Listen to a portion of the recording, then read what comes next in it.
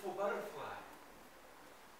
Hi there! I'm Flick, and this is the story about my life, a bug's life. It all started when Hopper was gonna come for our food. Answer gross!